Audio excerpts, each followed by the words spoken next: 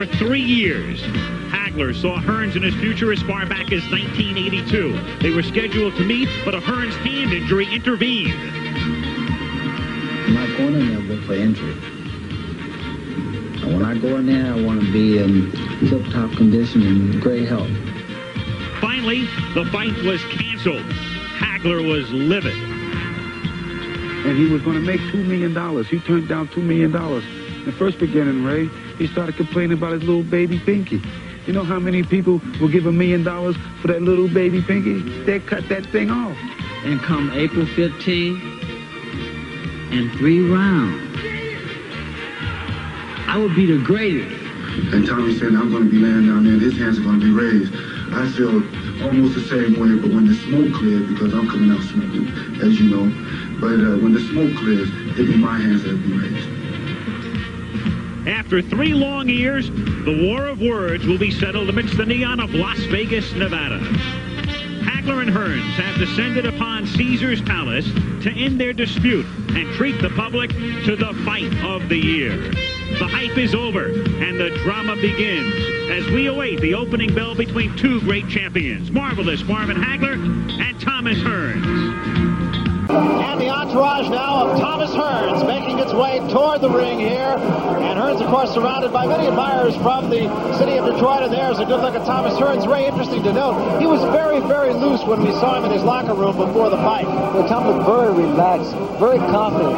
And uh, he didn't have that intense look on his face. He seemed to know exactly where he was and exactly what's going to happen. So Thomas Hearns looking all business, of course, and it has been the want of uh, Marvelous Marvin Hagler to make his, make his opponent wait in the ring. And, of course, everyone having anything to do with this fight will try to avoid just such a circumstance. Got to be a definite case of nerves on both parts here. And Larry Merchant, we talked briefly with Sugar Ray Leonard at the start of this program about just how each man holds up to the big event. sure you have some thoughts on that subject. I don't see any reason to question at this stage of their careers that they can't handle an event of this magnitude, and that's one of the reasons why it's become such a big event.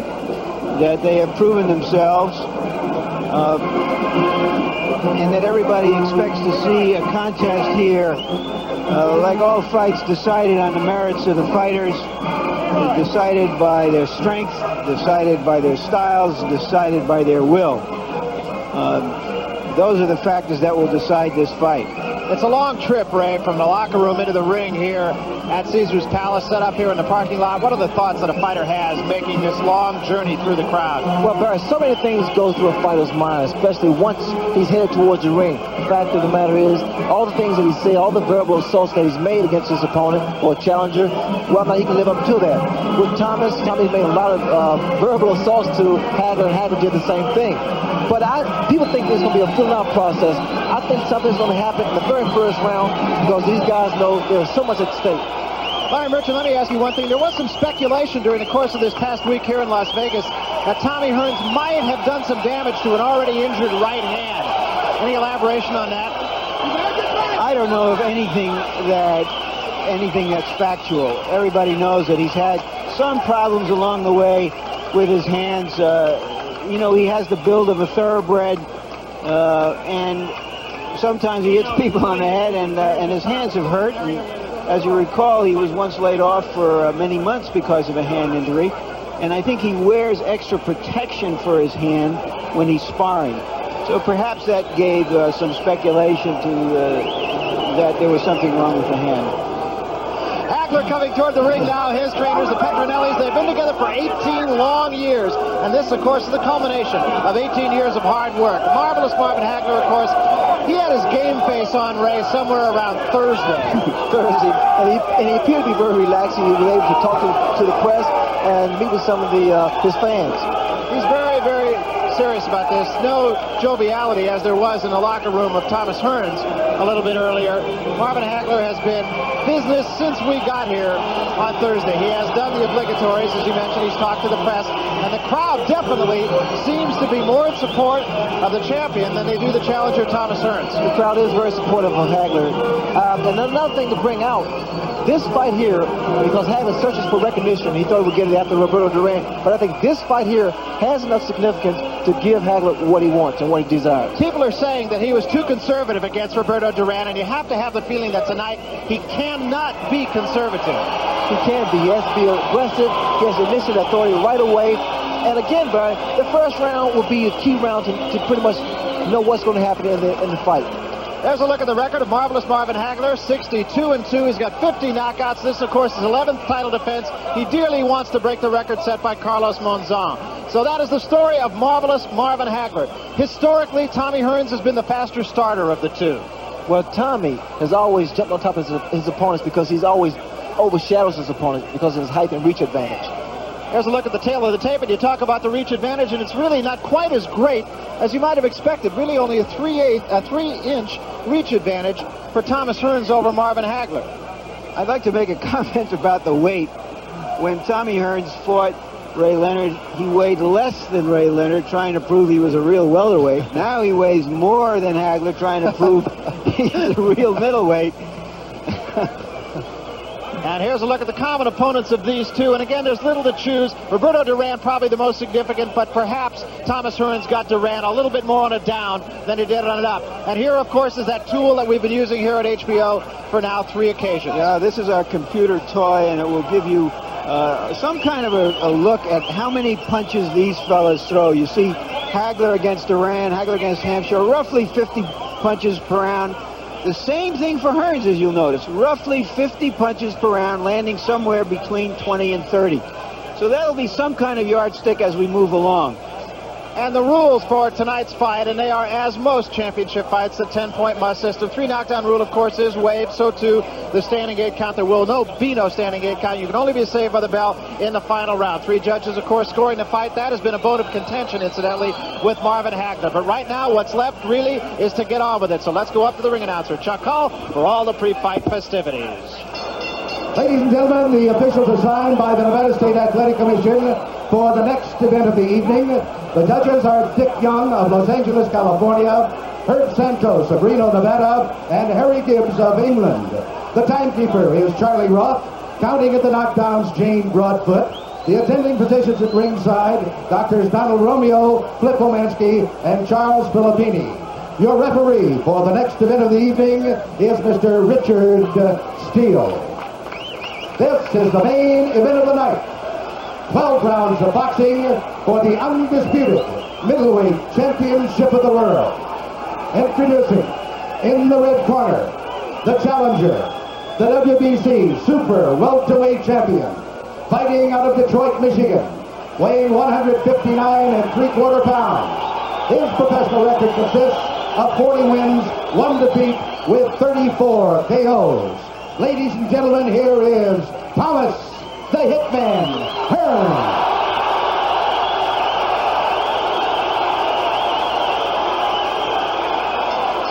And in the blue corner, fighting out of Brockton, Massachusetts, weighing 159 and one quarter pounds, with a professional record of 60 wins, two defeats, two draws, and 50 KOs.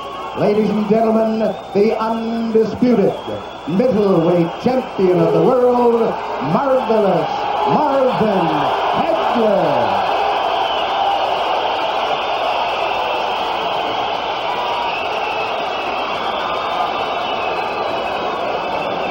Pat. Pat. Goody. Let's go. Okay, I gave both fighters the instructions in the dressing room. I'm just cautioning you now. Obey my command at all times. Shake hands. Good luck to both of you. As Ray said, Tommy Hearns usually likes to establish dominance early in the fight. I expect for that reason that Marvin Hagler will look for will look to come on and counterpunch at least in this first and perhaps through the first several rounds, looking for an opening if Hearns opens himself up. The early rounds could really dictate how the Round one. Hagler, attempting to get inside. He'd love to be able to pin Hearns on the ropes if he can. A more aggressive start by Hagler. Look at him, right for the body. Marvin Hagler only wants the body. And he bangs Marvin. Oh, Hearns hurt him with the right hand. Hearns hurt with him. another right. Hearns hits him with an uppercut. Hagler, He's hurt. is hurt. Hagler is stunned. Hearns got inside. Hit him with a right uppercut. Marvin ties him up. Marvin Hagler is still hurt. So it was Hagler coming out like a bullet. A good left by Hagler, but Hearns didn't flinch. Marvin going for the body. Wild first round. Wow, what a shock. And it was Hagler who initiated it, not Thomas Hearns. On a left by Hagler. Hearns comes back. Another right. That one stunned Hearns. What a first minute of the fight. Tommy Hearns has been able to drop that right hand in, and it has hurt Hagler, a surprise to many people. Another right hand from Hearns. Hearns moving. Hagler still pursuing. Comes in with a right. Missing with a left hook. Here's where I believe Hagler should turn to righty. He could block that right hand easier, and he would land his own left hook. Hearns with a devastating punch. Swelling near Hagler's left eye. Again, Tommy trying to come inside the hands of oh, Hagler. Low blow by Hearns. Hagler still looking for the body. A right by Hagler. Good right got in. He has Hearns where he'd love to keep him on the ropes, but Tommy comes off oh. easily. Another good right by Hearns. Hagler is now shaking those right hands off, though, Al. He was stunned a little early, and he's normally a slow starter. He's also bleeding. Hagler is cut. Hagler is cut. Bridge of the nose. Hagler hitting him low. He is banging the body well. He is taking shots to the head. He blocks that right. Hearns tries to come in with the uppercut, and Hagler ties him up with a minute to go in a wild first round. Marvin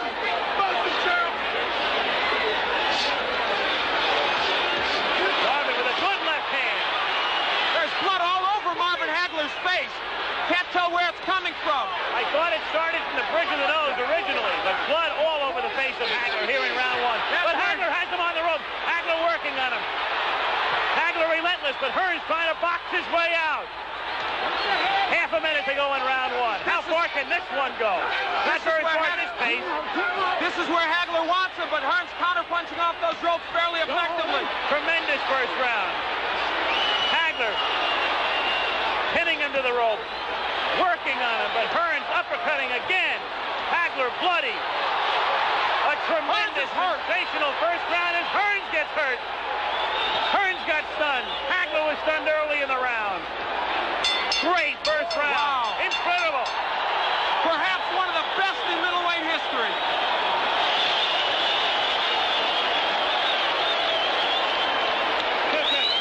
That was an entire fight encompassed in three minutes. Where is it? Right there. No problem. Don't worry about the gun. Close your eyes. Close your eyes.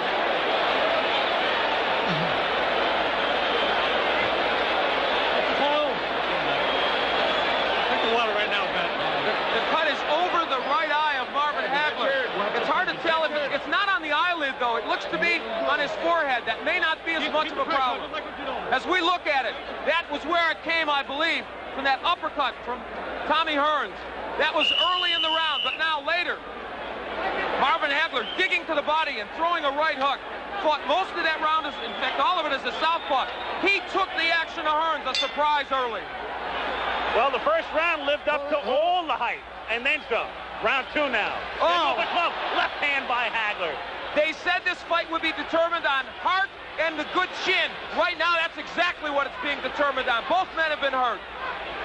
You can throw the you can throw the strategy out the window right now. A wild first oh, round. Hearns again trying to uppercut. Hearns trying to box. Moving, moving, slipping off the ropes. Coming back and trying to land that right.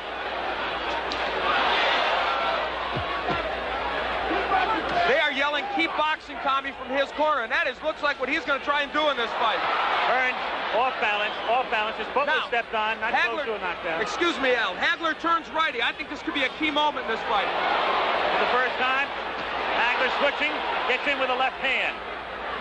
This round sort of the way people anticipated the first round Yes. might go. Another right hand stuns Hearns. The crowd, of course, emphatic over every punch that's thrown. Hagler despite that recent disadvantages, has been able to get into Hearns more so than I think most people expected. For one simple reason, good left hook by Hagler. He took the best Hearns could offer, and he did come in. He's, he's getting through that right hand, even though he's getting hit with it. Halfway through round two.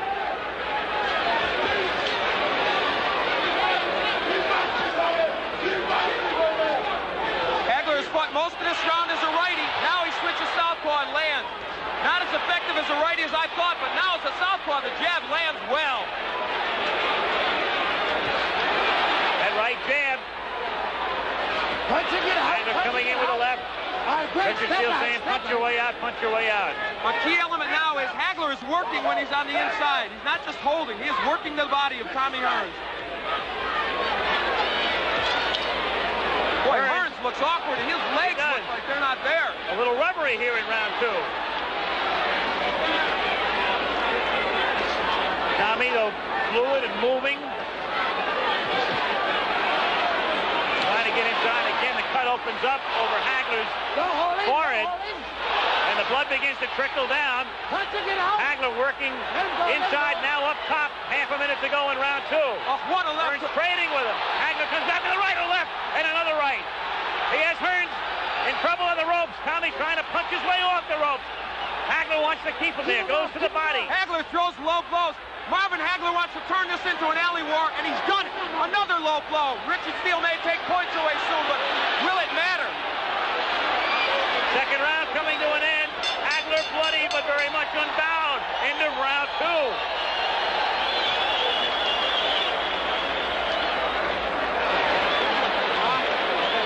Keep your hands up. Look, when you finish up with the shot, you move off to one side or the other, okay? You're not boxing to being out here. Try to work on letting them miss with the left and going over here and then coming back with the right. You got to cut a being cut up. Just box them. Stay away and box them. Just box them. Just get your second wind and relax like nothing had to do with Colin Jones. Just think careful. Just box it. When you get through with your shot, move off to one side or the other. You're getting hit on tail end punches. You understand? You can hear Manny Steward talking to Hearns. On the cut of Hagler. And the Petronelli's good cut men. Goody and Pat have done excellent job on the cuts of Hagler. What a shock that that man initiated this war right from the beginning. And you know what? I thought he would do well as a righty. He has done better as a southpaw, and he may stay at that. Again, Steward telling Hearns to box. As you say, though, Hagler turning it into a street fight. Well, he turns righty. He wants it to be a street fight. Listen, Marvin Hagler has been rough inside. He's thrown some low blows. He has thrown some elbows. Don't push, don't push. But you know what? Now the right is getting there, but it's not hurting Hagler. We've got our answer, I think, to some extent. Tommy has been has been hard pressed to hurt him with that right. Stunned him early, but not in the last round or two. Very early. Had him Stun has him cut. But it was Hagler doing the damage in round two. And now, just as we thought might happen, Tommy Hearns was hurt early, so he is boxing. Now he has good boxing skills. He did this against Sugar Ray. Can Hagler get to him in this posture? Some people thought, as he Go home, again go becomes home. off balance, some thought that if if Hearns stayed outside and stayed on his bicycle, it would become a dull fight with Marvin chasing him. But Marvin has been able to corner him, and when Marvin gets him in the corner, he is roughhousing him well. Again, Hagler is all bloodied. Time is called by Richard Steele to send Hagler over to the ring doctor. He's calling the ring doctor in. Of course, the last thing in the world Hagler wants is the fight to be stopped. The doctor looks at it. Back comes Hagler with a wild left hand. It has to be impeding his vision with the right eye. You Big never know it though. Tremendous right. Hearns appears rubbery. He Boy, appeared that way in the second round. You know, Richard Steele is breaking these fighters very quickly. That's uncharacteristic of him. It's hurting Hagler because he wants to work inside. Hearns is smiling, but he's taking shots. Another right hand. Hearns turns his back, takes another right. Hearns in deep trouble again. Hearns is down. Hearns is down in the third round and on his back. And he's not going to beat the count. I don't believe. Tommy Hearns tries to get up stop this fight. Does he get up? He His just does no. He can't continue. It's Hagler, full of blood. Blood, no doubt, impeding his vision, stopping him in the third round after Hearns almost ended it on a first-round knockout. It didn't go very far, but it was a beauty. And Tommy Hearns predicted a knockout in the third. Instead, it is Marvin Hagler, and we certainly hope Tommy Hearns will be all right. He is still wobbly. What a shot. Instead of Hearns initiating Wilder, Marvelous Marvin Hagler. So close to being knocked out in the first round. Withstood the barrage.